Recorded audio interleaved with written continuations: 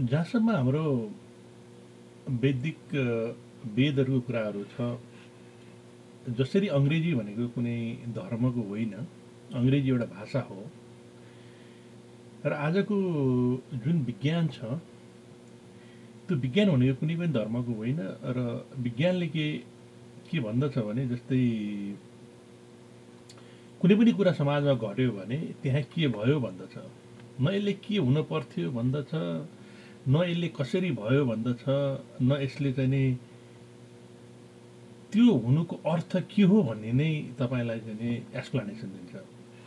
जब कुनै उसले परीक्षण गर्यो मैले परीक्षण गरेँ अनि मेरो परीक्षणबाट यो पाइयो विज्ञानको कुरा सकियो। तपाईँले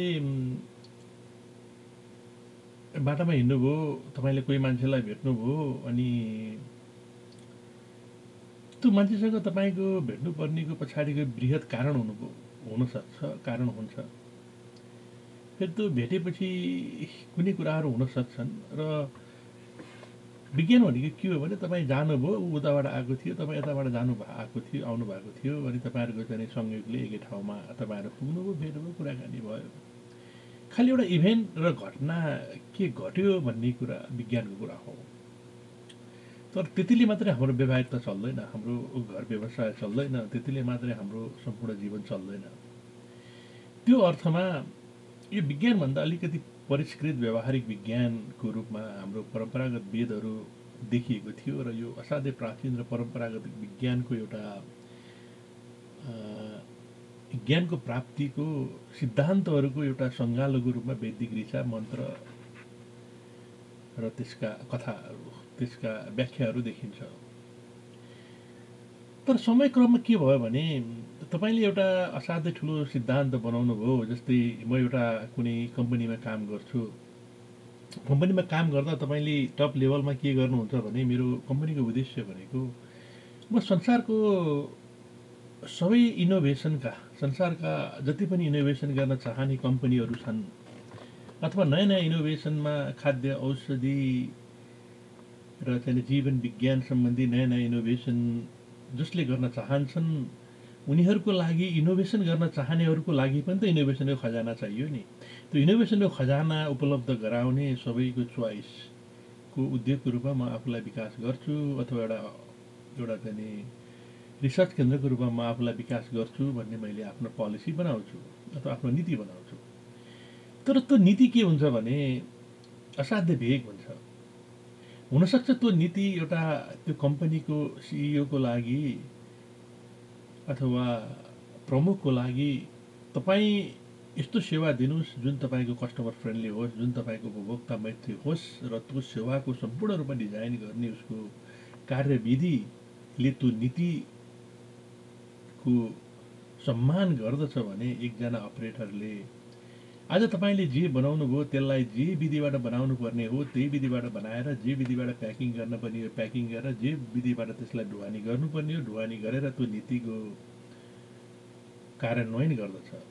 त्यहाँ क्लिनर र स्विपरहरूले तपाईँको त्यहाँ भएको सम्पूर्ण वातावरणलाई सफा गर्ने शुद्ध शुद्ध गर्ने ताकि त्यहाँ कामको वर्किङ इन्भाइरोमेन्टलाई वर्किङ गर्ने बनाएर त्यो नीतिको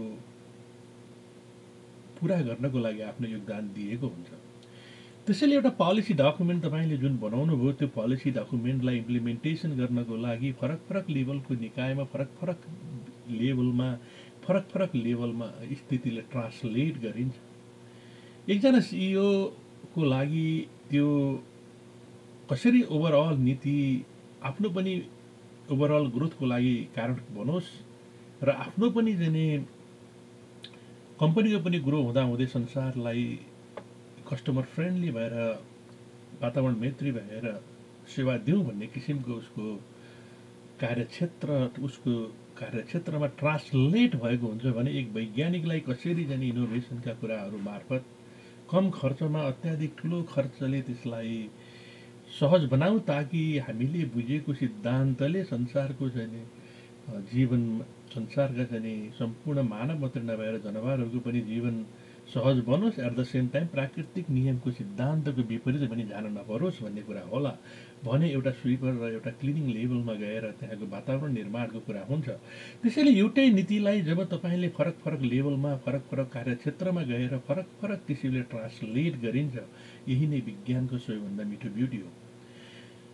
त्यसैले यदि तपाईँले वेदान्तका ऋचाहरू हेर्नुभयो भने प्रत्येक ऋचाले तपाईँलाई एउटा जीवन विज्ञानको नीतिहरू दिएका हुन्छन् तर त्यो जीवन विज्ञानको नीतिमा तपाईँको जीवनका फरक फरक सन्दर्भमा फरक फरक वातावरणमा फरक फरक जरुरतहरू हुने गर्दछन्। विज्ञानमा त सबै भौतिक मात्रै छ। जब तपाईँ आध्यात्ममा जानुहुन्छ जब तपाईँको आध्यात्ममा सिर्फ भौतिक छैन तपाईँको बाहिर बाहिरको यात्रा छ तपाईँको भौतिक जीवनको यात्रा छ तपाईँको अन्तर्मनको यात्रा छ त्यसपछि तपाईँको अरत्र छ तपाईँको परत्र छ तपाईँको जीवन छ तपाईँको जीवन पछिको जि जिन्दगी के भन्ने छ अथवा तपाईँको जीवन अघिको जिन्दगी के भन्ने छ तपाईँहरूको आफन्त छन् तपाईँहरूको आफन्तसँगको सम्बन्ध छ अनि तपाईँले मान्ने र चाहिँ देवगुणहरू छन् तपाईँले नमान्ने असुर गुणहरू छन्। त्यसैले वैदिक विज्ञान अलिकति विस्तृत विज्ञान हो। जसको लागि त्यसको सान्दर्भिकता र त्यसको प्रमाणिकताको परीक्षण विज्ञानले गर्ने गर्दछ तर विज्ञानको आफ्नै सीमितताहरू छन्। त्यो सीमितताले कहिलेकाहीँ हामीलाई त्यो स्थितिमा लान पुग्न नसक्ने अप्ठ्याराहरू विकास गरिदिएका छन्। तर त्यति हुँदा हुँदै पनि प्रकृतिले हामीलाई यति ठुलो विवेक दिएको छ यति ठुलो एनालाइटिकल नलेज र हाम्रो इन्टेलिजेन्ट र इन्टेल्याक्ट दिएको छ। त्यसले गर्दा के हुन्छ भने विज्ञानको परिधिभन्दा बाहिर गएर स्वयं विज्ञानले नै प्रमाणित गरेका टेस्टलाई पनि इन्टरप्रिटेसन गरेर हाइपोथेसिसलाई टेस्ट गरिसकेपछि फेरि इन्टरप्रिटेसन गरेर त्यो हाइपोथेसिस एक्सेप्ट भयो अथवा रिजेक्ट भयो भनेर हामीले जुन निर्णय गर्दछौँ त्यसको अलिकति परिष्कृत रूपमा वेदमा भनिएको छ। यो कुराहरू आज संसारमा एक्सेप्टेन्स छ। कतिपय गरिब मुलुकहरू जहाँ धर्मको नाममा शोषण गरिन्छ जहाँ लाटो देशमा गाँडो तन्देरी भने जस्तो सामान्य कुराहरू गरेर आफूले आफूलाई स्थापित गर्न खोजिन्छ र सत्यमा भन्दा आफ्नो मूल्य र आफ्नो बढी अस्तित्व खोजिन्छ त्यहाँ यी कुराहरू अलिकति अन्डरमाइन भए तापनि आज तपाईँ संसारको जुनसुकै कुरामा जानुहोस् यी कुराहरूलाई चाहिँ एक्सेप्टेन्स भएको छ। र अब जब जहाँसम्म न्युटन इरा र आइन्स्टाइन इराभन्दा अगाडि बढेर क्वान्टम मेटाफिजिक्सको जमाना आयो त्यसले त यसलाई धेरै कुराहरू प्रमाणित गरेको छ। त्यसैले त्यसैले अब के रह्यो भने वैदिक कालका हाम्रा जति पनि विज्ञान थिए ती सत्य थिए असत्य थिए भन्ने कुराहरू थिएनन् ती सत्य थिए भन्ने कुरामा अब कुनै विवाद रहेन। अब विवाद केमा रह्यो भने यदि त्यो सत्य थिए भने हामीले किन विज्ञानबाट सबैलाई प्रमाणित गर्न सकेनौँ त्यसको अनुभूति ल्याबमा किन गर्न सकेनौँ र हामीले किन विज्ञानले आफ्नो त्यसको क्षमता ताकि हामीले यी सत्यतालाई पनि पहिचान गर्न सक्ने मानव क्षमतामा विज्ञानभित्र हामीले त्यसलाई किन इन्क्लुजन गर्न सकेनौँ भन्ने अबको मुद्दा हो। त्यसैले म यहाँहरूसँग कुरा गर्न खोज्दाखेरि फेरि त्यो विज्ञानका कुरा यी कुरा अनि जो विज्ञानै नपढिकन विज्ञानका कुरा क्वान्टम मेटाफिजिक्स नपढिकन मेटाफिजिक्सका कुरा वेद नपढिकन अथवा वेदका कुराहरूको अर्थहरू नबुझिकन वेदका कुरा गर्न चाह्यो भने यी सेसनहरू असाध्यै ठुलो लामो हुनु हुनाले म त्यतातिर अल्झिन चाहन्न। यी कुराहरू भनेको जब तपाईँको टेबलमा एक गिलास पानी राखिन्छ जस्तै मैले मेरो टेबलमा एउटा कफी राखेको छु यसको तपाईँको कुनै न अधिकार छ न कर्तव्य छ यसको खालि युटिलिटी छ उपयोगिता छ। तपाईँलाई जब तिर्ख लाग्छ पानी पिउनुहोस् तपाईँलाई जब तिर्ख लाग्दैन नपिउनुहोस् तपाईँ स्वतन्त्र हुनुहुन्छ त्यसलाई त्यहाँनिर हामीले फ्री विल भन्ने गर्दछौँ। त्यस्तै यी वेदका कुराहरू विज्ञानका कुराहरू इनोभेसनका कुराहरू र तपाईँ हाम्रो जीवनलाई सहज गर्ने कुराहरू भनेको यिनीहरूको युटिलिटी छन् त्यो उपलब्धता छ। त्यहाँ एभाइलेबल छ तपाईँलाई मन लाग्छ लिनुहोस् मन लाग्दैन नलिनुहोस्। र चाहिँ जसरी तपाईँको जीवन जिउने तपाईँको स्वतन्त्र अधिकार छ तपाईँको स्वतन्त्रता छ त्यस्तै यस क्षेत्रमा लागेका व्यक्तिहरूको पनि आफ्नो स्वतन्त्रता छ त्यसैले तपाईँ आफ्नो स्वतन्त्रता लिनुहोस् तर आफ्नो स्वतन्त्रता लिनको लागि अर्काको स्वतन्त्रता हनन नगर्नुहोस् भन्ने वैदिक कन्सेप्ट वैदिक ज्ञान भएका मान्छेहरूमा पाइन्छ। तर दुर्भाग्यवश आज आफूलाई वैज्ञानिक भन्नेहरू विज्ञान नबुझेर आफूलाई वैज्ञानिक अवधारणा दिनेहरूले वेदका यी कुराहरू पढेका छैनन्। त्यसैले उनीहरूले तपाईँलाई के गर्छन् भने आफ्नो अधिकारको नाममा तपाईँको नागमा लाग्ने गरेर आफ्नो हातहरू चलाउने गर्छन्। र यो वेदले नै भनेको छ यदि तपाईँ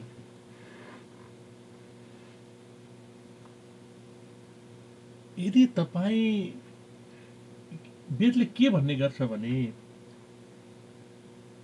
नन सेन्स र सेन्स भन्छ। यदि तपाईँसँग चाहिँ सेन्स छ भने जो व्यक्तिसँग सेन्स छ जो व्यक्तिसँग अलिकति मानवता छ त्यही व्यक्तिले जो व्यक्ति नन सेन्स छ जो व्यक्तिसँग मानवता छैन त्यसको पटक पटक अत्याचार र दुराचार सहनु पर्दछ भन्दछ।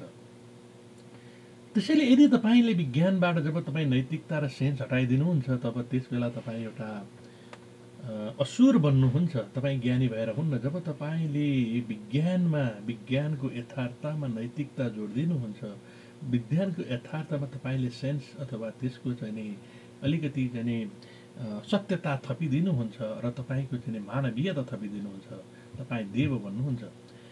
त्यसैले यदि तपाईँले जहाँसम्म यो हामी नवदुर्गा भवानीको आधुनिक वैज्ञानिक कथाको बारेमा कुरा गर्दै थियौँ तपाईँले कथा हेर्नुभयो भने त्यहाँ एउटा समस्या आएको देखिन्छ। समस्यामा के हुन्छ भने जुन चाहिँ जुन एउटा समस्या आउँछ एउटा भगवान् विष्णुको आफ्नै शरीरको मैलबाट एउटा चाहिँ खराब पक्षको विकास भएको देखिन्छ।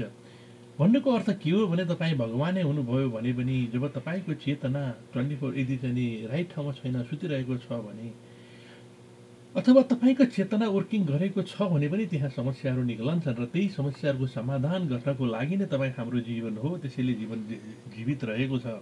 जीवितको अर्थ नियमित चलामान रहेको छ भनिएको छ। यो कुराहरू सामान्य रूपमा तपाईँले हेर्नुहुन्छ भने जब तपाईँ खाना खानुहुन्छ खाना खाइसके पछाडि जब पाचनिक क्रियाका धेरै स्टेपहरूमा जाँदाखेरि प्रत्येक स्टेपमा जुन कुरो तपाईँको शरीरलाई काम लाग्दैन त्यो कुरालाई फोहोर भनिन्छ।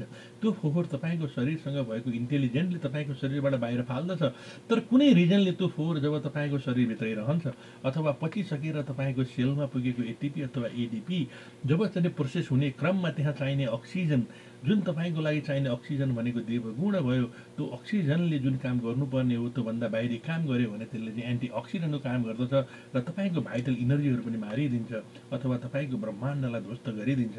त्यो पनि असुर गुण हो।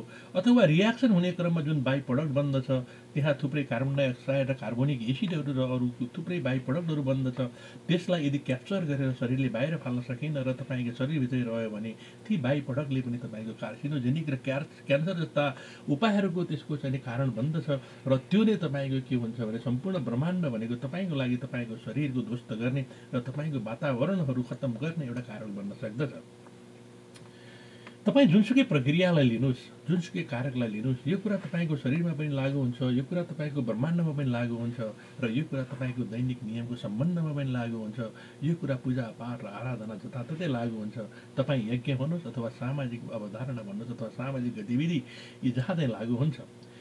त्यसैले यी सत्यताहरू हुन् यी सत्यताहरूको लागि पटक पटक विज्ञानको कसीमा ल्याएर जसले विवाद गर्न चाहन्छन् तपाईँ उसको पछि नलाग्नुहोस् र र शास्त्र भन्दछ विद्वानको पछि लाग्नुहोस् मूर्खको पछि नलाग्नुहोस्। जब मौरी जब मौरीले फुलको रस खोज्ने मौरीले फुलको रस पनि फेला पार्दछ र मह बनाउँछ र आची खोज्देखि झिँगाले आची पनि फेर पार्दछ र त्यही आछीमा रमाउँछ। त्यसैले तपाईँको फ्री वेल छ तपाईँको आफ्नो उद्देश्य र तपाईँको आफ्नो जीवनलाई कहाँ लान चाहनुहुन्छ तपाईँ आफू कहाँ जान चाहनुहुन्छ तपाईँ समाजको लागि सुधारक बन्न चाहनुहुन्छ वा पीडक बन्न चाहनुहुन्छ तपाईँ संसार सुधार्न चाहनुहुन्छ तपाईँ आफ्नो जीवनमा आनन्द चाहनुहुन्छ वा धन सम्पत्ति र सम्पूर्ण जाने दुःख र चाहिँ सीमित सुखमा तपाईँले आफूले आफूलाई ढाल्न चाहनुहुन्छ यो तपाईँको कुरा हो। त्यसैले जब तपाईँ वेदको कुरा गर्नुहुन्छ जब तपाईँ विज्ञानको कुरा गर्नुहुन्छ त्यति बेला सबैभन्दा पहिले तपाईँको आफ्नो फ्री विलको कुरा गर्न जरुरी हुन्छ।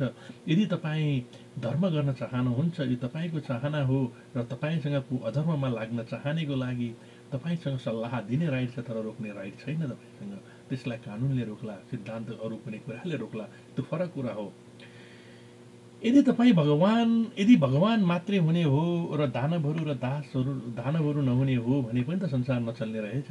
तपाईँ हामीले सामान्य रूपमा खाएको खानामा पनि त खानाको भाइ प्रडक्टले तपाईँ हामीलाई राम्रो गर्दैन र त्यसलाई हटाउने अरू प्रक्रियाहरू छन् भने यसमा तपाईँ हामीले चिन्ता लिनुपर्ने कुराहरू होइन। प्राकृतिक नियमको सिद्धान्तले यो सबै पहिले नै फिक्स गरिसकेको हुनाले मलाई के लाग्दछ भने हामी त्यो बाटोमा जाउँ जहाँ हामीले वेदान्तको कुराहरूले के भनेको छ त्यसलाई बुझौँ? त्यसलाई अच्छा अथवा राम्रो लाग्दछ त्यसलाई फलो गरौँ राम्रो लाग्दैन त्यसलाई फलो नगरौँ। जहाँसम्म आजको कुरा नवदुर्गा भवानीको आधुनिक वैज्ञानिक कथाको नवदुर्गा वैज्ञा भवानीको कथा हामीलाई निकै सुनाइयो तर यसको यथार्थ र वैज्ञानिक पक्ष बारेमा जब कुरा भएन त्यो बारेमा चाहिँ अलिकति कुरा गरौँ भन्ने बारेमा यहाँ कुरा आएको हो। जब तपाईँ दसैँको सन्दर्भ हेर्नुहुन्छ भने त्यहाँ एउटा कथा छ। एकजना राजा हुन्छन् उन राजाले असाध्यै राम्रै काम गरिरहेका हुन्छन् राजकाज सम्बन्धी पनि असाध्यै राम्रो गरेका हुन्छन् चराचरहरू सबैको चाहिँ राम्रै प्रगति गरेका हुन्छन् अनि सबैको लागि उनले आफ्नो अन्तर्मनले जे सही लगायो आफ्नो मनले जे अच्छा लाग्यो त्यही गरेका हुन्छन्। तर के हुन्छ भने कुनै कारणवश उनको सायद उनी आफ्ना सेनाहरूप्रति असाध्यै बढी चाहिँ पोजिटिभ रहे। अर्को एउटा शत्रु राज्यले आएर उनको ठुलो भूभाग क्याप- क्याप्चर गरिदिन्छ। क्याप्चर गरिदिएपछि उनलाई के लाग्दछ भने ठिकै छ। उनले युद्ध हार्दछन्। युद्ध मैदानबाट जब उन फर्केर आउने क्रममा उनको सोचाइ हुन्छ कि ठिकै छ मैले युद्ध हारेँ। तर मेरो गल्ती के थियो? मेरो गल्ती त केही पनि थिएन।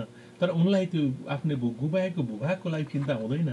तर उनलाई के लाग्छ भने त्यहाँका चाहिँ मेरा जनताहरू जसलाई मैले मेरो छोराछोरी जस्तै गरेर माया गरेँ जसको विकासको लागि मैले यति धेरै कुराहरू गरेँ उनीहरूको भविष्य अब त्यो त्यसलाई चाहिँ एब्जर्भ गरेका जाने जुन चाहिँ हाम्रो शत्रु पक्ष छन् अथवा नयाँ पक्ष छन् उनले कस्तो बिहेभ गर्ने हुन् उनीहरूले दुःख पाउने हुन् सुख पाउने हुन् असाध्यै चिन्तित बन्दछन् त्यसरी चिन्तित भनेका असाध्यै संवेदनशील राजा जब चाहिँ राज्यमा फर्कन्छन् राज्यमा फर्कँदा उनलाई के थाहा हुन्छ भने उनका मन्त्रीहरू उनका आसेपासेहरूलाई के थाहा हुन्छ भने राजाले युद्ध हारे राजा अब कमजोर बनिसके अब यिन चाहिँ कमजोर छन् भनेर आफ्नै चाहिँ आफन्तहरूले आफ्नै चाहिँ परिवार समेत लागेर आफ्नै दाजुभाइ समेत लागेर उनलाई कु गर्ने चाहिँ प्रयत्न गरिरहेका हुन्छन् एकातर्फ उनका आफन्तहरू कु गर्ने प्रयत्न गरिरहेको उनले थाहा पाउँछन् र उसले कु गर्ने प्रयत्न गरेको कुरा र ऊ आफै आफ्नै राज्यमा कमजोर भएको आफ्नो आधा राज्य खाइसकेको अर्को चाहिँ राजालाई थाहा हुन्छ।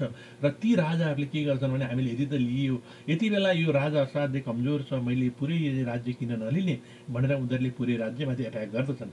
यसरी थाहा पाएका राजाले अर्धनास्तिभन्दा सर्वनास्ति खतम भनेर उनले के भन्दछन् भने ठिकै छ म यो राजकाज गर्दिनँ बरु म चाहिँ जङ्गल जान्छु मेरो जङ्गल पस्दछन्। उनको उद्देश्य के हुन्छ भने ठिकै छ मैले यदि चाहिँ मैले मेरो विवेकले र मेरो ज्ञानले थाहा पाएसम्म जति गरेँ मैले राम्रै गरेँ मैले सबैको राम्रै सोचेको हो तर पनि यो परिस्थिति मेरो अनुकूल गएन। त्यसैले म जङ्गल जाँदछु ताकि जङ्गलमा मलाई बाघ भालुले खाइदिउन्।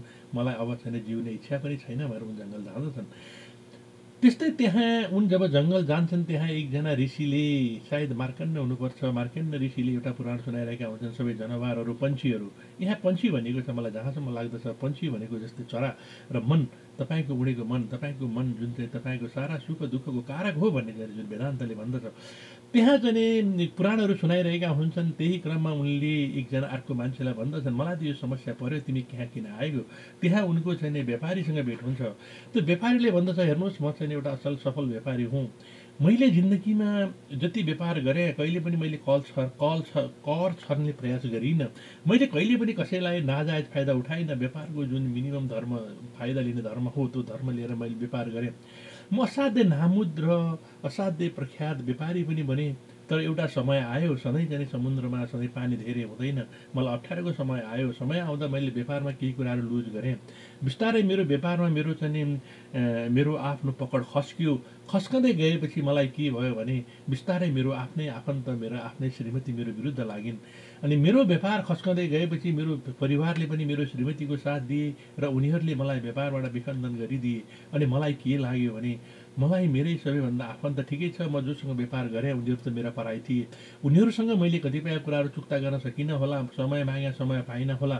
त्यही समयको चाहिँ अवसरमा मेरो श्रीमती र मेरो आफ्नै भन्नेहरूले पनि मेरो विरुद्ध जुन चाहिँ साँठगाँठ गरे र मलाई त्यहाँबाट हटाउने गरे। म असाध्यै विरक्त भएँ र म बरु ठिकै छ। म अझै पनि म मेरी ती श्रीमती म तिमीलाई असाध्य धेरै माया गर्छु। अझै पनि मेरा बच्चा म तिमीलाई असाध्य धेरै माया गर्छु। म तिमीहरूको फ्युचरको लागि यसो व्यवसाय गरेको थिएँ। अब यो व्यवसायले पनि अब तिमीहरूको चाहिँ राम्रो गरोस्। म अझै पनि चाहन्छु। तर मलाई के लाग्दछ भने म हिँडेँ तर अब त्यो व्यापार व्यवसाय भएपछि व्यवसायको लायबिलिटी अथवा चाहिँ रेस्पोन्सिबिलिटीहरू पनि छन्। यसको तिर्नुपर्नेको लागि त्यो व्यवसाय अलिक केही समय चल्नु पर्दछ ताकि मेरो ऋण तिर्न सक्दछु मैले व्यवसायलाई ऋण तिर्न सक्दछ। त्यसपछि मेरो परिवारको जीवन राम्रो हुन्छ। तर मेरो श्रीमती र बच्चा बच्चीहरू यो व्यापारसँग त्यति बढी चाहिँ स्ट्रङ छैनन् र मेरो यति धेरै चाहिँ जाने जानकारी राख्दैनन्। त्यो भएर उनीहरूबाट यो व्यापारले फेरि चाहिँ फर्किएर आफ्नो पाठ लिएला आफ्नो ट्र्याकमा फर्किएला भन्ने कुराहरू मलाई लाग्दैन। त्यसले गर्दा के छ त भन्दा म अहिले पनि उनीहरूको भविष्यप्रति असाध्यै चिन्तित छु। अब मलाई केही छैन। म जङ्गल किन आएको ठिकै छ। म त्यहाँ बाँच्नुभन्दा बरु मेरो लागि यहाँ जङ्गल बाघ भालुले मलाई खाइदियोस्। म मेरो जीवन परमधाम भएकै ठिक छ। र चाहिँ मैले जे गरेँ मेरो आफ्नो चाहिँ सम्पूर्ण क्यापासिटीले आफ्नो बलबुताले सकेसँग राम्रो गरेँ र म प्राकृतिक मैत्री बनिरहेँ म सबैलाई इमान्दार रहने पनि कोसिस गरेँ तर परिस्थितिले मलाई त्यो प्रमाणित गरेन। त्यही भएर म त्यही जाने त्यही कारणले म यहाँ छु भनेर व्यापारीले भन्दछन्।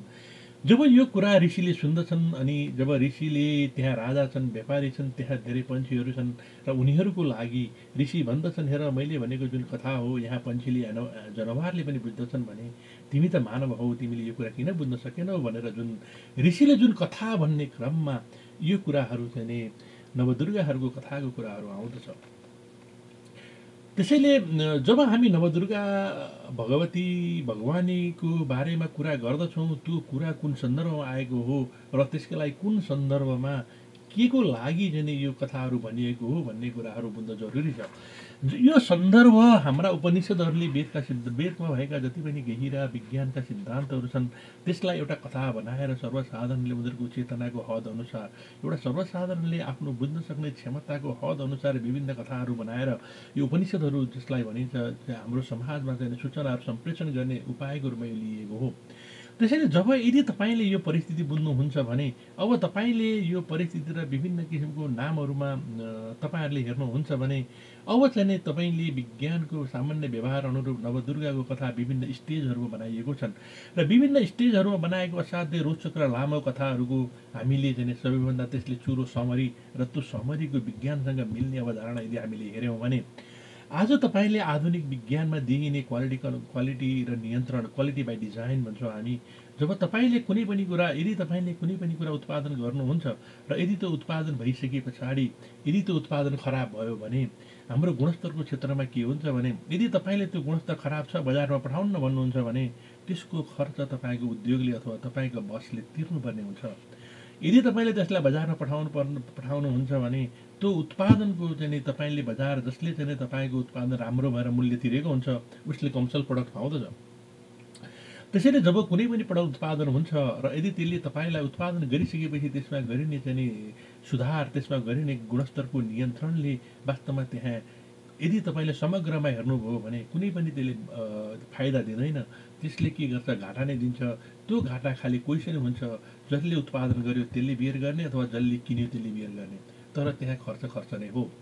एक्ज्याक्टली विज्ञानमा विज्ञानको जुन एउटा चाहिँ क्वालिटी अनि त्यसको चाहिँ त्यसको निवारणको लागि के गरिन्छ भने तपाईँले यस्तो वातावरण बनाउनुहुन्छ ताकि खराब उत्पादन हुनै नसकोस्। त्यसलाई क्वालिटी बाई डिजाइन भन्ने गरिन्छ।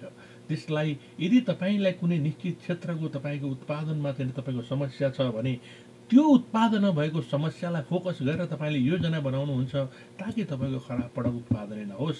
त्यसलाई डिजाइन फर एक्स भनिन्छ।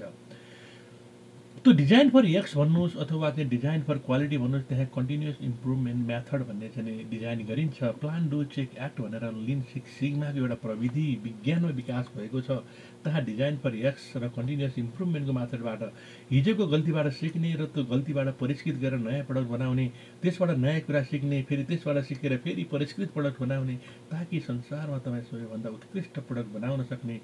गुणस्तरयुक्त कम्पनी र इनोभेटिभ कम्पनी बन्न सक्नुहोस् र डिस्ट्रक्टिभ इनोभेसन संसारलाई अफर गर्न सक्नुहोस् भन्ने विज्ञानको सिद्धान्त छ एक्ज्याक्टली वेदको दसैँको नवदुर्गा भवानीको कथामा तपाईँले त्यही कुरा भेट्नुहुन्छ आज तपाईँले आधुनिक विज्ञान भनेर तपाईँले धेरै ठुलो ठुलो मास्टर डिग्री पास गरेर त्यसपछि तपाईँ असाध्यै ठुला ठुला कम्पनीहरूमा गएर सिइओ लेभलमा पुगिसके पछाडि अनि अब तपाईँले तपाईँको बिजनेसलाई इम्प्रुभ गर्नको लागि ठुलो खर्च गरेर लिने lean six sigma design for X र पिडिसिए साइकल भएर इम्प्रुभमेन्ट अपर्च्युनिटीका कुराहरू तपाईँले हेर्नुहुन्छ भने तपाईँको सामान्य वेदमा छ र त्यही कुरा तपाईँले नवदुर्गा भवानीको कथा अन्तर्गत प्रत्येक दशाईमा तपाईँले प्र्याक्टिस गर्नुहुन्छ तर तपाईँले त्यो कुरा बुझ्नु भएको छैन। किनभने तपाईँले आफ्नो यथार्थमा पुगेर यथार्थ परक भएर त्यसलाई हेर्नु भएको छैन। तिनै कुराहरू भन्न मैले तपाईँलाई यहाँ अहिले यो समय दिइरहेको छु। अब अलिकति लामो भूमिका भए पनि अब विज्ञानको सामान्य व्यवहार अनुरूपको दसैँको नवदुर्गा भवानीको कथा यदि तपाईँले हेर्नुहुन्छ भने दसैँ नवदुर्गा भवानीको विस्तृत कथा अन्तर्गत के हुन्छ भने एकजना राजा रम्ब एकपटक चाहिँ जल र जमिन दुवैमा रहने खुबी भएकी एउटा चाहिँ भैँसीको प्रेममा पर्दछन्। वास्तवमा जल र जमिन दुवैमा रहने खुबी भएको भनेको चाहिँ के हो त भन्दाखेरि तपाईँको चाहिँ नि यस्तो अ, समस्याको क्रिएटर जुन चाहिँ नि तपाईँले चाहिँ नि बाहिर शरीरभन्दा बाहिर पनि रहन सक्छ र तपाईँको रगतमा पनि रहन सक्छ। पर्दछन् र चाहिँ त्यसैको चाहिँ संयुक्त गर्भबाट भैँसा भैँसीसँग चाहिँ महिषासुरको जन्म हुन्छ। र त्यो महिषासुर भन्ने चाहिँ के हुन्छ भने उसँग चाहिँ जल र जमिनमा रहने क्षमता हुन्छ र उसले आफूलाई आफूले चाहेको चाहिँ जुनसुकै अवतारमा पनि उसलाई परिवर्तन गर्न सक्ने क्षमता हुन्छ। ती महिषासुर आफ्नो के हुन्छ भने समय क्रममा ब्रह्माको असाध्यै ठुलो फ्यान हुन्छन्। उसले ब्रह्मामा आफूलाई एक्सर्साइज गर्दछ। उसको अर्थ ऊ आफू जिउनको लागि ब्रह्मा भनेको डिजाइन हो। कुनै पनि प्रकृतिको डिजाइनको लागि उसले आफ्नो सम्पूर्ण समय खर्च गर्दछ र त्यसमा उसले आफ्नो विद्वत्ता प्राप्त गर्दछ। यसरी विशिष्ट क्षमताका महिषासुर सृष्टिकर्ता ब्रह्माको महान भक्त भएर निस्किएको हुनाले उसँग यति ठुलो ज्ञान हुन्छ कि ब्रह्म भनेको उसको अध्ययनले उसको क्षमताले उसको क्यापाबिलिटीले उसले न त देव न त जाने असुर दुवैसँग चाहिँ उसले चाहिँ हार सहनु पर्दैन उसँग त्यति ज्ञान छ। यहाँ देव भनेको जब तपाईँ खाना खानुहुन्छ खानाबाट निक्लिने सार तत्त्व जसले तपाईँको जीवन चल्दछ त्यसबाट इनर्जी चल्दछ त्यसलाई देव भनिएको छ र त्यही खानाको तपाईँले जुन चाहिँ बाई प्रडक्ट छ पाचनपछि निक्लिने बाई प्रडक्ट छ। त्यसलाई असुर भनिन्छ जुन तपाईँको शरीरको लागि चाहिँदैन। तर तपाईँको फोहोरमा पनि ऊ उम्रन सक्छ र बाँच्न सक्छ र तपाईँको रगतमा पनि तपाईँको शरीरमा पनि ऊ चाहिँ ग्रो गर्न सक्छ। यसरी त्यो क्षमता भएको चाहिँ विशिष्ट क्षमताको महिषासुरले चाहिँ के हुन्छ? शरीरमा हुन्छ ऊ ब्रह्माको चाहिँ एक्सर्साइज गर्दछ। तर केही समयपछि महिषासुर यति बलियो हुन्छ। त्यसलाई चाहिँ उसले चाहिँ हाम्रो कथामा के भनिएको छ भने महिषासुरमा एउटा चाहिँ नि एउटा अहङ्कारको जन्म हुन्छ। आफ्नो चाहिँ क्षमता उसले आफ्नो क्षमताको प्रयोग गर्दछ र उसले के गर्छ भने बिस्तारै चाहिँ सुरु पृथ्वीमा पनि कब्जा जमाउँछ र स्वर्गमा पनि कब्जा जमाउन थाल्दछ। यदि तपाईँले संस्कृतको शब्द र वेदान्तको शब्द हेर्नुहुन्छ भने तपाईँको सम्पूर्ण भौतिक शरीरलाई पृथ्वी भनिन्छ भने तपाईँको तपाईँको सम्पूर्ण मस्तिष्क प्रणालीलाई स्वर्ग भन्ने गरिन्छ र स्वर्गको राजा जुन तपाईँको टाउकोमा रहेको दिमाग तपाईँ यो कुरा नभुल्नुहोस् कि दिमाग खालि तपाईँको टाउकोमा मात्रै हुँदैन। तपाईँको सम्पूर्ण शरीरमा दिमाग हुन्छ। तपाईँको मुटुलाई चलाउने फेरि छुट्टै दिमाग हुन्छ। फेरि सानो दिमाग हुन्छ। तपाईँको भटेरोल कोलमलाई चलाउने छुट्टै सानो दिमाग हुन्छ। तपाईँको आन्द्रालाई चलाउने पनि फेरि तपाईँलाई पाचन प्रणालीलाई छुट्टै दिमाग हुन्छ। र फेरि तपाईँको शरीरमा सबै जति पनि लिम्स नोडहरू हुन्छन् जति पनि स्नायुहरू हुन्छन् त्यो तपाईँको शरीरभरि फैलिएर बसेका हुन्छन्। छालासम्म पुगेका हुन्छन्। तर त्यही दिमाग जुन तपाईँको शरीरमा हुन्छ त्यसलाई उनीहरूले चाहिँ देव भनेका छन् र त्यो दिमाग जसको सेन्ट्रल नर्भस सिस्टम चलाउने जुन त्यो टाउकोमा हुने गिरी छ त्यो गिरीको पनि हेडलाई यहाँ इन्द्र भनिएको छ। त्यसैले के गर्दछ भने त्यो महिषासुरले तपाईँको चाहिँ नि पृथ्वीमा त क्याप्चर गर्दा गर्दछ र उसले चाहिँ नि स्वर्गमा पनि क्याप्चर गर्दछ। र कुनै रिजनले गर्दा के गर्दछ भने उसले चाहिँ नि स्वर्गमा भएको इन्द्र इन्द्रलाई पनि उसले पराजित गर्न सक्दछ र उसले सम्पूर्ण तपाईँको शरीर र ब्रह्माण्डमा नै उसले क्याप्चर गर्दछ। क्याप्चर गरेपछि एकचोटि महिषासुरले स्वर्गमा अचानक एट्याक गरेर जसरी कोरोना एट्याक हुँदाखेरि के भयो? सम्पूर्ण शरीर नै धेरै मान्छेहरू मैले यति छु यति नै सरप्राइज रूपमा चाहिँ उसले चाहिँ तपाईँको चाहिँ स्वर्गमा एट्याक गरेर उनीहरूलाई परास्त गरे र अब उनीहरूलाई चाहिँ के भने आफ्नो स्थानबाट हटाइदिए। स्थान भनेर आकाश भन्ने गरिन्छ। यहाँ चाहिँ स्थान भनेको आकाश हो। हटाइदिए र हटाइदिएपछि के भयो भने अब सम्पूर्ण शरीर पृथ्वी नै समय समय तपाईँको वातावरण सबै ध्वस्त भयो। सम्पूर्ण वातावरणहरू चाहिँ बिथोलियो खलबलियो। अब त्यहाँ के भयो भने तपाईँको जीवनप्रति सम्पूर्ण ब्रह्माण्डको अस्तित्वप्रति नै प्रब्लम आयो प्रब्लम आएपछि उनीहरू चाहिँ ब्रह्माको पासमा जान्छन् तर ब्रह्मा एउटा चाहिँ निर्माणको चाहिँ शक्ति हुन्।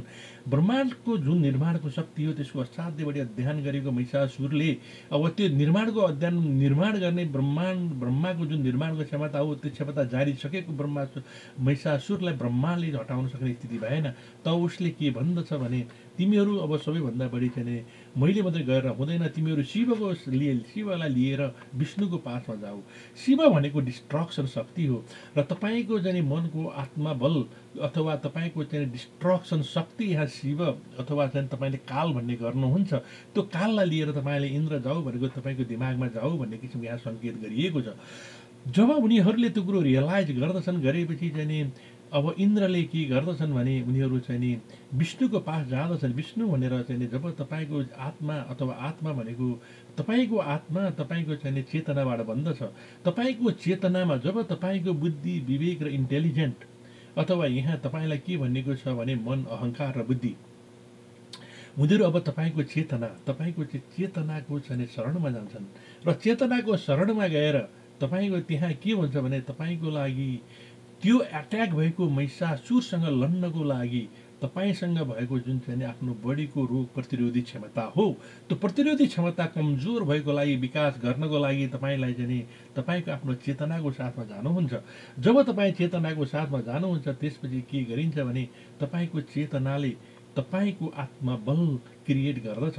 तपाईँको आत्मबल कसरी क्रिएट गर्दछ भने त्यहाँ भएका तपाईँका सम्पूर्ण शक्तिहरू तपाईँका चाहिँ इन्द्रियहरू तपाईँका चाहिँ सम्पूर्ण स्नायुहरू तपाईँका मुटुमा भएको छुट्टै चाहिँ तपाईँको ब्रेन तपाईँको चाहिँ आन्द्रामा भएको छुट्टै ब्रेन तपाईँको मेरुदण्डमा भएको छुट्टै ब्रेन र सम्पूर्ण ब्रेनहरूलाई फेरि आफै जोडेर राख्ने सम्पूर्ण चाहिँ तपाईँको चाहिँ इन्द्रियका प्रणालीहरू र त्यसलाई केन्द्रमा पुग्ने सम्पूर्ण इन्द्रहरू उनीहरू सबै मिलेर के गर्छन् भने अब हामीले तपाईँलाई तपाईँको हातमा यसो आगोले पोल्यो भने तपाईँको हात चाहिँ आगोबाट ऐया भनेर जुन तपाईँले तान्नुहुन्छ त्यति बेला खालि तपाईँको लिम्स नोड लिएर तपाईँको स्नायुले मात्रै काम गरेको हुन्छ। जब तपाईँले आगोबाट हात निकाल्नुहुन्छ त्यसपछि मात्रै तपाईँको इन्द्र अथवा दिमागले थाहा पाउँछ कि मलाई पोल्यो र मैले त्यहाँबाट हात हटाएँ। एक्ज्याक्टली अब के त भने एक्लै एक्लै होइन अब हामीले सामूहिक रूपमा युद्ध लड्नु पर्दछ भनेर जुन एउटा चाहिँ सामूहिक आत्मबल क्रिएट गर्ने शक्ति हो। त्यसलाई देवी भनिएको छ। त्यहाँ एउटा देवी संयुक्त संयुक्त संयुक्त रूपमा चुनाव संयुक्त रूपमा हामी लड्ने र यसको विरुद्ध र चाहिँ हाम्रो शरीरलाई बचाउने अथवा ब्रह्माण्डलाई बचाउने भन्ने जुन एउटा चाहिँ लडाइँ हो त्यो लडाइँमा त्यहाँ सामूहिक आत्मबलको क्रिएट गरिन्छ र उनी देवीलाई इन्द्रले आफ्नो हतियार दिन्छन् सम्पूर्ण हतियार त्यहाँ त्यहाँनिर त्यो स्नायु प्रणालीहरू सबै के सबैको संयुक्त रूपमा अब त्यसको लागि भिन्न र लड्न तयार हुन्छ। त्यो लड्न तयार हुने प्रविधि अन्तर्गत के हुन्छ त भन्दाखेरि अब त्यो लड्नको लागि यहाँ टोटल्ली तिनवटा स्टेपहरू तयार हुन्छ। पहिलो कुरो सबैभन्दा पहिले तपाईँको बडीको इन्टेलिजेन्टले तपाईँकोलाई एट्याक गर्ने जुन चाहिँ बाहिरबाट एट्याक गर्ने जुन चाहिँ यो महिषासुर अथवा असुर हो असुर शक्ति हो जसले तपाईँको शरीरमाथि क्याप्चर गराएर आफ्नो उद्देश्य आफ्नो सन्तान वृद्धि र आफ्नो सम्पूर्ण प्राप्त गर्न चाहन्छ उसको सबल पक्ष र कमसल पक्षको अध्ययन गर्दछ। सबल पक्ष र कमसल पक्षको पत्ता लगाए पछाडि त्यसको कमसल पक्षको लागि कसरी त्यसलाई पराजित गर्न सकिन्छ भन्ने कुरो इन्टेलिजेन्ट तपाईँको चाहिँ डिएनएले क्रिएट गर्दछ र त्यसले क्रिएट त्यसै अनुसार एन्टिबडी क्रिएट गरिन्छ। र एन्टिबडी क्रिएट गरेर त्यसलाई डिस्ट्रक्सनको लागि चाहिँ टेस्ट परीक्षण हुन्छ र टेस्ट परीक्षणबाट त्यसलाई के गरिन्छ भने त्यसको विरुद्धमा तपाईँको इम्युन शक्तिले काम गर्दछ एट द सेम टाइम तपाईँको सम्पूर्ण आत्मा बल त्यसैमा लाग्दछ। र अनि त्यसपछि के हुन्छ त भन्दाखेरि त्यसको विरुद्ध पराजित गरेर फेरि त्यसको कारणले भएको तपाईँको शरीरमा भएको ड्यामेजहरू जति छन् त्यसलाई फेरि पुनर्बहाली गर्ने काम तपाईँको शरीरले गर्छ कायाकल्प गर्ने काम तपाईँको शरीरले गर्दछ। यसको लागि शरीरले टोटल नौ स्टेपहरू लिने गर्दछ। सबैभन्दा पहिले प्लानिङका स्टेपहरू जसमा चाहिँ योजना बनाउने दुश्मनलाई चिन्ने योजना बनाउने र त्यसको चाहिँ प्रतिरोधी क्षमता र त्यसको विजयको क्षमता बनाउने त्यसपछि त्यसका लागि टुलहरू विकास गर्ने त्यसपछि रियल त्यससँग लडेर तपाईँलाई रोगमुक्त गराउने। यसरी जब तपाईँको जीवनमा सधैँ चल्ने कुराहरू छन् ती कुराहरू तपाईँको व्यवहारमा भएका तपाईँको चाहिँ समाजमा भएको विकृतिहरू विरुद्ध लड्न भने यस्तै प्रकृतिहरू चाहिन्छ। र जसरी तपाईँको शरीरमा एउटा रोगबाट लड्नको लागि र मुक्ति लिनको लागि तपाईँको शरीरले नौवटा स्टेप पुरा गर्नुपर्दछ। यो ब्रह्माण्ड भएको उथल पुथलको लागि पनि तिनै नौ स्टेप चाहिँ काम लाग्दछ। त्यसैले यिनै कुराहरू तपाईँलाई सम्झाउनको लागि नवरात्रमा नौ देवीहरूको परिकल्पना गरिएको छ र पहिलो परिकल्पना के त भने तपाईँलाई समस्या आएको छ तर तपाईँले समस्यासँग जुन्नु अघि तपाईँले कुनै गतिविधि गर्नु अघि तपाईँको चाहिने तम गुण तपाईँले आइडियल बसेर त्यसको के रहेछ त्यो के हो मलाई यो समस्या किन आयो र त्यसको विरुद्ध कसरी जाने भनेर त्यसको विरुद्ध घटना भइरहेको छ। घटनाको बारेमा अध्ययन गर्ने त्यसमा नभिन्ने त्यसमा नलाग्ने त्यसको विरुद्ध कुनै पनि गतिविधि नगर्ने खालि मेन्टल्ली र इन्टेलिजेन्टमा काम गर्ने तम गुण काली। र यो तिन त्यसको लागि तिन स्टेप छ। त्यो तिनवटा कालीहरूको नाम दिएको छ र त्यो तिन स्टेपलाई समग्रमा महाकाली भनियो। त्यसपछि अब तपाईँले सबै कुराहरू बुझ्नुभयो कमजोर पक्ष बुझ्नुभयो अब त्यसलाई कमजोर पक्षलाई फोकस गरेर त्यसलाई इलिमिनेट गरेर त्यससँग लड्नको लागि अब तपाईँले युद्धको प्लानिङ गर्नुभयो। तपाईँले साधन जुटाउनु भयो स्रोत जुटाउनु भयो त्यसको लागि सम्पूर्ण जन गतिविधिहरू रेडी गर्नुभयो र तपाईँले सम्पूर्ण त्यसको विरुद्ध लड्ने कार्य योजना बनाउनु भयो यसलाई पनि तिन तहमा बनियो। अब यो के भयो भने अब तपाईँ आइडल हुनुहुन्न। तपाईँ अब योजना बनाउने क्रममा हुनुहुन्छ। तमा गुणपछि अब तपाईँ रजगुणमा पुग्नुभयो। त्यो तिनवटा जाने चरणलाई तिनवटा लक्ष्मीहरू भनियो र त्यसलाई संयुक्तमा महालक्ष्मी भनियो। अब जब तपाईँ रेडी हुनुभयो अब तपाईँ यथार्थमै तपाईँको दुश्मन विरुद्ध रोग विरुद्ध तपाईँ लड्नुभयो लड्नको लागि अब तपाईँले तपाईँको शस्त्रास्त्र प्रयोग गर्नुभयो उनीहरूसँग असाध्यै लामो समय लड्नुभयो लडेपछि के भयो भने योजना अनुसार तपाईँ त्यसलाई लड्नुभयो त्यसलाई परास्त गर्नुभयो परास्त गरेर त्यसलाई तपाईँको जीवनबाट सम्पूर्ण रूपमा फाल्नुभयो र तपाईँको लडाइँ र त्यसको एट्याकको कारणले भएको तपाईँको समस्या जुन छ त्यसलाई परिपूर्ति गर्नको लागि तपाईँले फेरि पुनर्जीवन तपाईँको शरीरमा पुनर्निर्माणको कार्य गर्नुभयो। त्यसलाई यहाँ सरस्वती भनिएको छ ज्ञान र यो मूलत चाहिँ अन्तर्ज्ञानको यदि तपाईँ जाने वैराग्यमा जानुहुन्छ भने चाहिँ ज्ञान प्राप्ति हो र चाहिँ त्यो ज्ञान प्राप्ति अथवा चाहिँ कुनै पनि चाहिँ सङ्घर्षबाट तपाईँले रियल फेज प्राप्त गर्नु सरस्वती बनियो र सरस्वतीको तिन रूपलाई महासरस्वती बनियो। यसरी तपाईँले हरेक जिम्मेवारी पुरा गर्नको लागि तपाईँको जीवनमा भएका जुन चाहिँ यो नौ किसिमका शक्तिहरू छन् नौ किसिमका उपायहरू छन् त्यसलाई यहाँ नवदुर्गा भनिएको छ। र जब तपाईँ यो कुराहरू लड्नुहुन्छ लडेपछि तपाईँले एक दिन के गर्नुहुन्छ त भन्दाखेरि त्यसबाट विजय प्राप्ति गर्नुहुन्छ र तपाईँ यो सबै कुराहरू आफ्नो जीवनमा लागू गरिसके पछाडि तपाईँले प्राप्त गरेको हिजोको तपाईँको खराब स्वास्थ्य बिग्रिएको खराब स्वास्थ्यभन्दा आजको चाहिँ सुधारिएको स्वास्थ्यमा जब तपाईँ पुग्नुहुन्छ त्यसलाई तपाईँको विजय भनियो र यसैलाई विजय दशमी भनियो। विजय दशमी भनेर चाहिँ तपाईँले नवदुर्गाहरूको पूजा गर्नुभयो। यसैलाई नै तपाईँले विजय दशमीको रूपमा एउटा उदाहरणको रूपमा लिन सक्नुहुन्छ। तर यो तपाईँको जुन जीवनको जुनसुकै कुराहरूमा पनि लागु हुन्छ। त्यसैले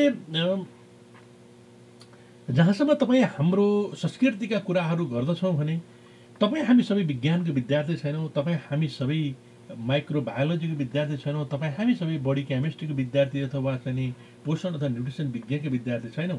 हामी कोही आर्ट्सका विद्यार्थी छौँ हामी कोही चाहिँ आध्यात्मका विद्यार्थी छौँ हामी कोही चाहिँ व्यापारमा लागेका छौँ कोही हामी व्यवसायमा लागेका छौँ कसैको हाम्रो आर्ट कला र चाहिँ नाटक हाम्रो व्यवसाय होला त्यो भएर के त भने सबैको लागि कमन फोरममा सबैले यी कुराहरू र सबैको परिस्थितिमा सबैको फरक फरक स्थितिमा यी कुराहरू लागु हुने गर्दछन्।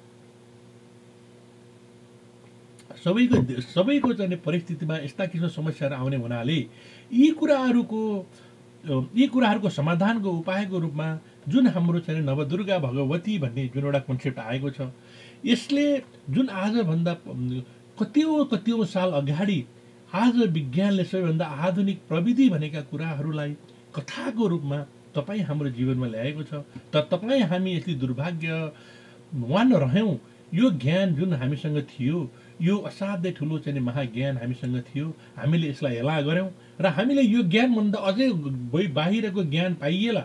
जसरी एउटा कस्तुरीले चाहिँ आफ्नै नाभिबाट आएको चाहिँ बासना बासनाको खोजीमा चाहिँ सारा जिन्दगी बिताइदिन्छ र खोजीमा चाहिँ पीडामा सम्पूर्ण चाहिँ जाने सम्पूर्ण चाहिँ के अरे नयाँ खोजको चाहिँ ढुकढुकी आफ्नो जीवनै असाध्यै चाहिँ नारकीय बनाइदिन्छ त्यसरी आफैसँग भएका यी ज्ञानका पुञ्जहरूलाई आफैसँग भएका ज्ञानका कुराहरूलाई हामीले पहिचान गर्न सकेनौँ तर यसको सबैभन्दा राम्रो पक्ष तर के छ भने हामीले हिजो पहिचान गर्न सकेनौँ तर आज हामीले यी कुराहरू पहिचान गऱ्यौँ भने यसलाई हामीले व्यवहारिकतामा किन लगा नलगाउने र व्यवहारिकतामा जाने भन्ने किसिमबाट आज संसारभरि वेद र विज्ञान वेदका र विज्ञानका चाहिँ समकक्षी कुराहरू र वेदमा रहेका वेदका प्रत्येक चाहिँ साना साना चाहिँ शब्दमा लुकिएका र त्यसका चाहिँ अर्थहरू र त्यसको चाहिँ अर्थको हाम्रो जीवनमा हुने मूल्यहरू आज संसारमा खोजी हुँदैछ र त्यही खोजी गर्दै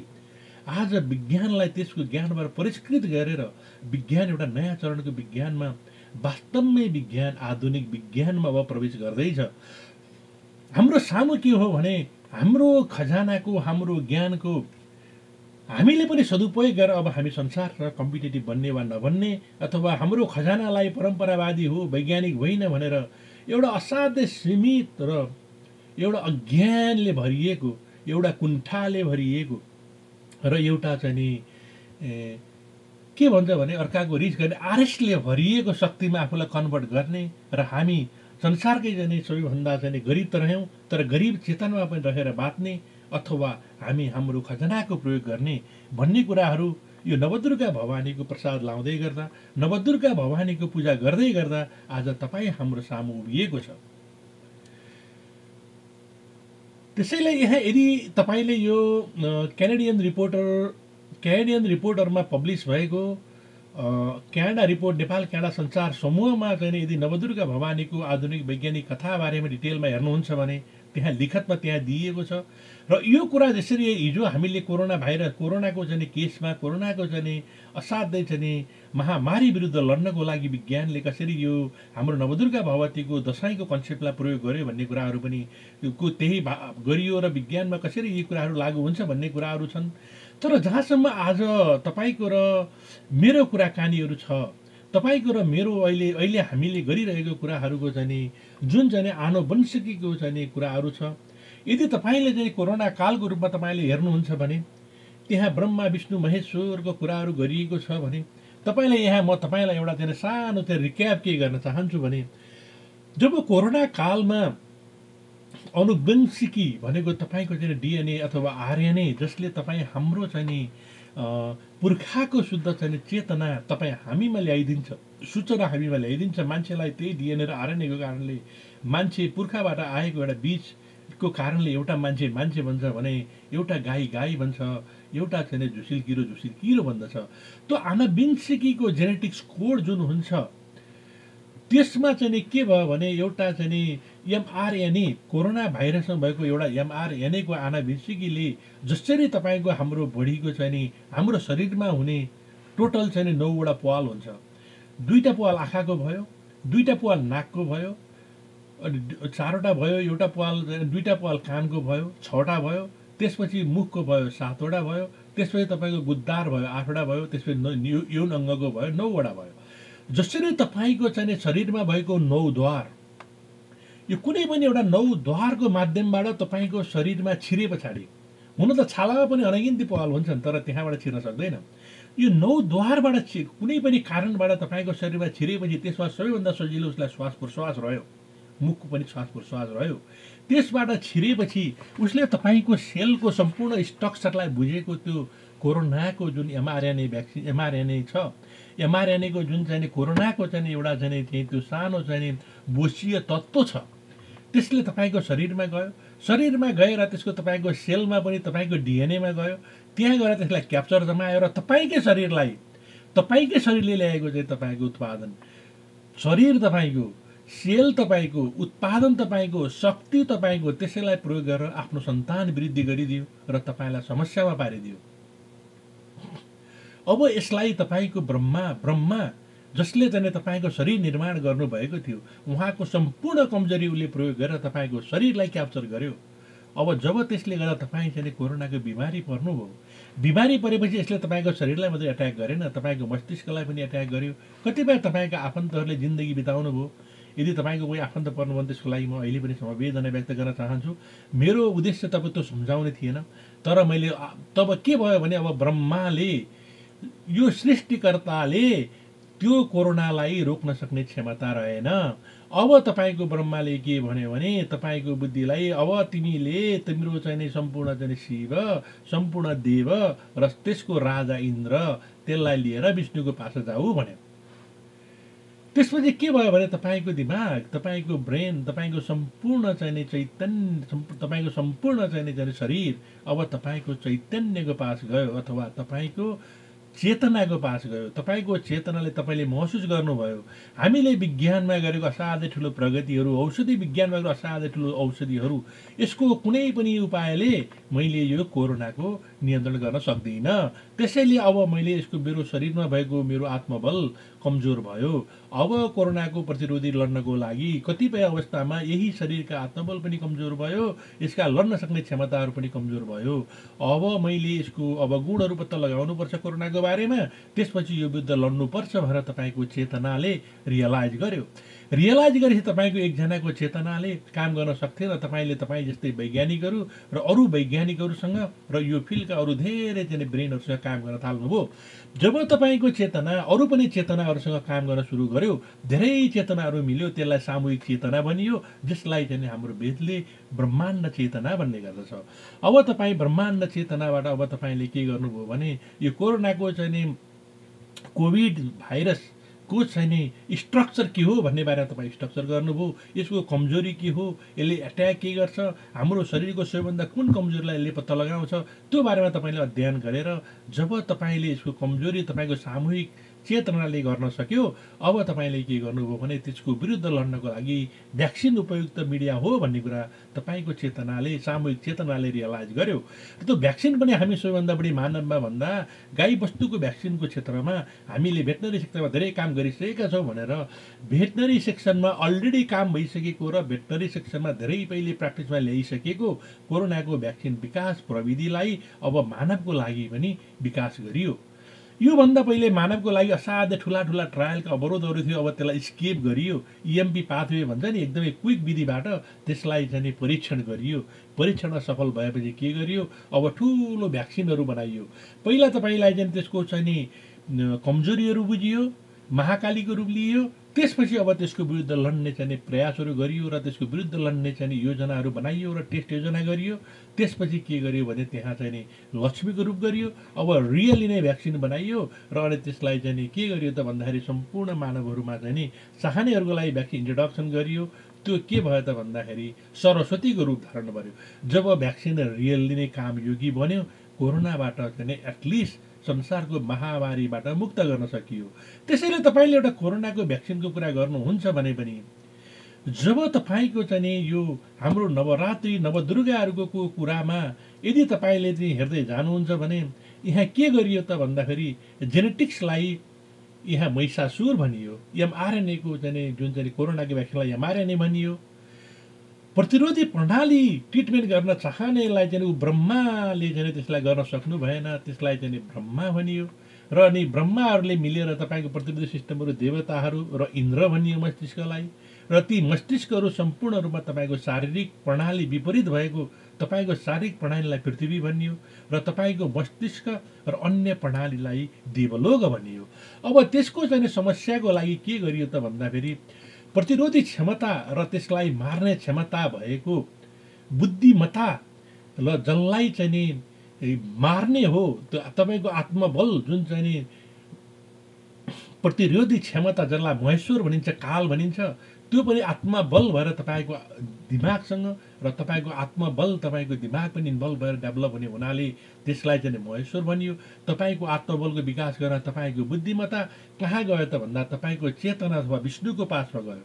र विष्णुले के गर्यो भने ल ठिकै छ म यसको उपाय गर्छु भने र विष्णु भनेको तपाईँको दिमागमा भएको तपाईँको चेतना अथवा जसलाई हामी आत्मा पनि भन्दछौँ सम्पूर्ण ब्रह्माण्ड चेतनाको एउटा अंश भएको हुनाले अब विष्णुले के गर्यो भने यसको चेतनामा म यहाँ मात्रै भएको चेतनाले र यो चाहिँ यो मेरो मैले यहाँ दिएको आत्माको फ्रेक्सनले मात्रै यो यसको उपचार हुन्थ्यो भने सम्पूर्ण देवगण अथवा ब्रह्मा महेश्वर मेरो पासमा आउनु पर्थेन भन्ने उनले रियलाइज गरेपछि म केही उपाय गर्छु भने अब विष्णुले आफ्नो अंश चेतनाले अन्य वैज्ञानिकको अंशको चेतनासँग पनि संयोजन गरे। संयोजन गरेपछि अब चाहिँ के गरे त भन्दा नवदुर्गाको पहिले प्लानिङ स्टेज गरियो। प्लानिङ स्टेजमा चाहिँ के गरियो भने सबैभन्दा पहिला चाहिँ नि सबल पक्ष भाइरसको सबल पक्ष अध्ययन गरियो त्यसलाई शैल्यपुत्री भनियो। त्यसको बोष्य तत्त्वमा घुल्ने निष्क्रिय पदार्थहरू कमजोरी तत्त्व पत्ता लगाइयो।